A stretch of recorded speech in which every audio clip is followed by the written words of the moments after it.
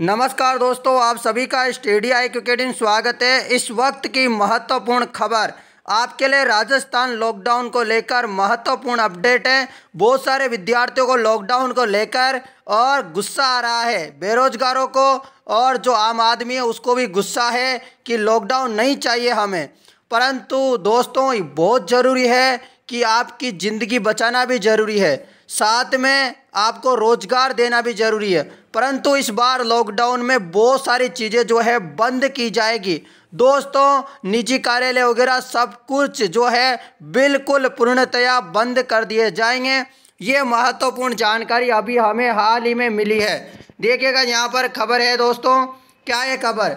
मुख्यमंत्री ने अधिकारियों को दिए सख्त गाइडलाइन बनाने के निर्देश।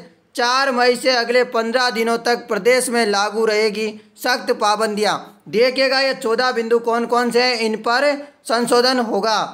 देखिएगा, सूत्रों के माने तो नई गाइडलाइन में चौदह बिंदु जो है निम्न प्रकार हैं।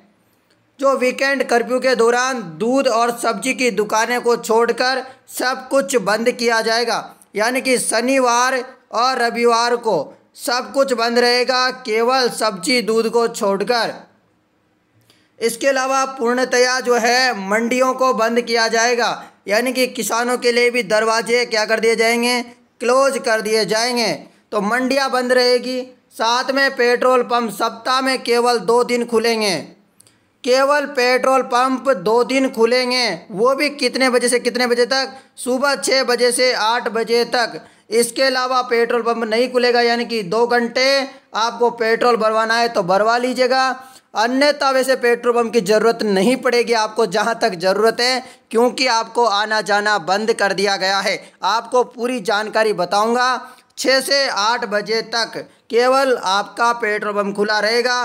केवल सप्ताह में दो दिन, यानी कि पाँच दिन पेट्रोल पंप बंद रहेगा। अगला खबर है आपके लिए। चार नंबर का टॉपिक। एक ज़िले से दूसरे ज़िले में निजी परिवहन के साथ अब निजी बसें भी बंद। अब जो है एक ज़िले से दूसरे ज़िले में परिवहन के साथ साथ अब निजी जो बसें, प्राइवेट बसें हैं, अब उन्हें भी बंद कर दिया जाएगा। महत्वपूर्ण खबर है। उसके अलावा यहाँ पर खबर है दोस्तों, रोडवेज़ बसें बंद होगी या नहीं, ये निर्णय मुख्यमंत्री करेंगे। अभी यह निर्णय नहीं हो पा रहा है कि रोडवेज़ बसों को बंद किया जाए या छोड़ दिया जाए। मतलब इसे मार दिया जाए या बचा दिया जाए, ये वाला डायलॉग हो गया ये तो। बिल्कुल तो रोडवेज़ बसों को बंद किया जाए या नहीं किया जाए, इस पर निर्णय मान्य श्री मुख्यमंत्री अशोक गहलोत जी करेंगे। राशन की दुकानें सिर्फ़ गली मोहल्ले व कॉलोनियों में ही खुलेगी, मुख्य बाज़ार में नहीं खुलेगी। यानी कि जो बाज़ार है मेन मार्केट है आपका तो मेन मार्केट में दुकानें बंद कर दी जाएगी पूर्णतया। केवल आपके आसपास, घर के आसपास दुकानें हैं तो वो एक दो दुकानें खुलेगी। दोस्तों, उसके लिए भी गाइडलाइन जारी की जाएगी। यह है अपडेट रेस्टोरेंट से अब होम डिलीवरी पर भी पाबंदी होगी।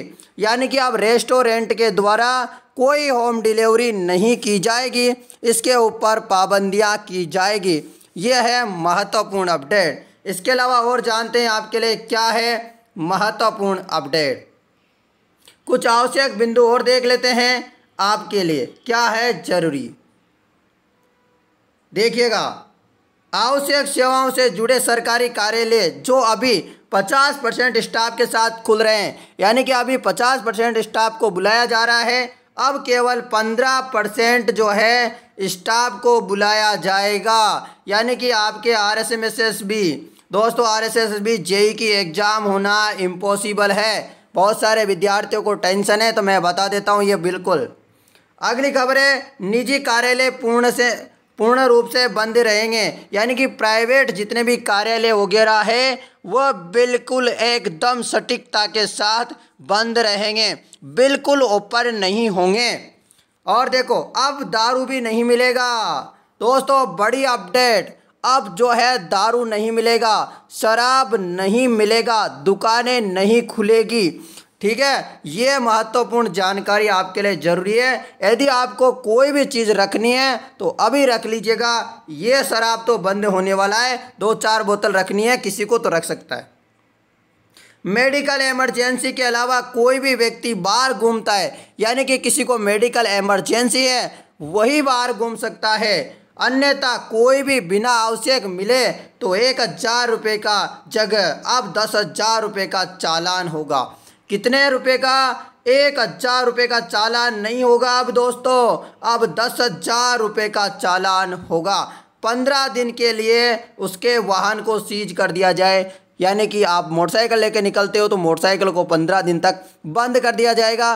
साथ में आप फोर व्हीलर लेके निकलते हो, फोर व्हीलर को बंद कर दिया जाएगा। बिना आवश्यक बिल्कुल भी नहीं निकल सकते।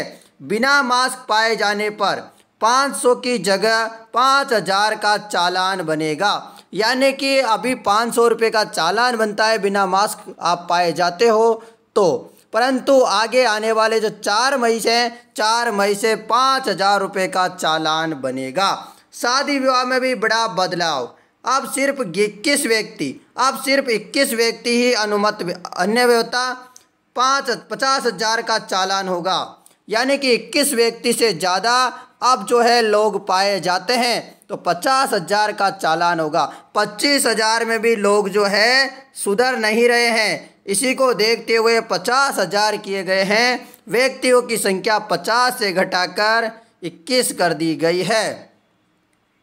अगली यहाँ पर क्या है? मामला देखिएगा। बैंकों फाइनेंस कंपनी, बीमा कंपनी में तीस परसेंट स्टाफ के स्थान पर, तीस स्टाफ, तीस परसेंट स्टाफ होगा के साथ दो बजे तक कार्य होंगे। यानी कि केवल दो बजे तक अब जो है, बैंक, फाइनेंस कंपनी, बीमा कंपनी खुले रहेंगे। और यहाँ पर अपडेट है गाइडलाइन के बाकी बिंदु पूर्व की बात यथावत रहेंगे। तो ये महत्वपूर्ण अपडेट थी। आप लोगों को ये जो है जानकारी पसंद आई होगी। पसंद आई है तो इस वीडियो को आप ज़्यादा से ज़्यादा शेयर करें। आप तक और भी कोई जानकारी होगी तो हम ज़रूर पहुँचाएँगे। आप बने रहिएगा हमारे channel study I Q academy के साथ। दोस्तों, बहुत सारे बच्चों को मैं फिर से बता रहा हूँ लॉकडाउन से क्या है? परेशानी है। तो वह बच्चे परेशान हैं। वो बोल रहे हैं कि, सर, आप लॉकडाउन लॉकडाउन की खबरें क्यों दिखा रहे हो? दोस्तों, अभी कोई और न्यूज़ वगैरह तो है नहीं आपकी वैकेंसी से रिलेटेड अभी जो न्यूज़ है, मैं वही बता रहा हूँ। तो दोस्तों, बिल्कुल ये जानकारी मैं इसलिए बता रहा हूँ क्योंकि आपको कहीं गाँव वगैरह में जाना है या फिर गाँव से शहर में आना है, आपको कहीं प्लान करना है तो आप पहले ही कर लें, तैयारी कर लें।